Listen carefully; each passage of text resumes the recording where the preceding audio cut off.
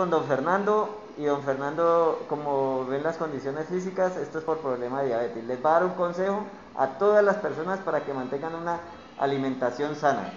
Don Fernando. Eh, buenas tardes, mi nombre es Fernando Budelo, soy diabético, soy hipertenso. Fuera de eso, hace tres meses me dieron 15 preinfartos, me hicieron marcapaso. Wow. O sea, estoy una pata y la otra, como se cuenta. Diabetes usted me puede observar, vea. Claro, está amputado eh, uno de dedo del pie izquierdo, Amputado. mira cómo tengo la pierna, la extremidad derecha, la, la pierna derecha el pulgar del dedo y el pulgar izquierdo. La, la cortaron. En realidad yo les doy ese consejo a ustedes. Yo soy una persona que soy diabética, pero yo no me cuido.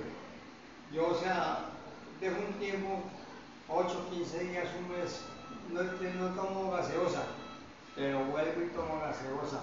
Mantengo tomando esa limonada, todo eso que no es como el restaurante, entonces se quedó dulce. Todo eso, man, eso, eso me hace daño a mí. Yo puedo- hoy en día estoy intentando de, de- con la botellita de agua para para minimizar el asunto. el azúcar. O sea que el consejo es la alimentación sana.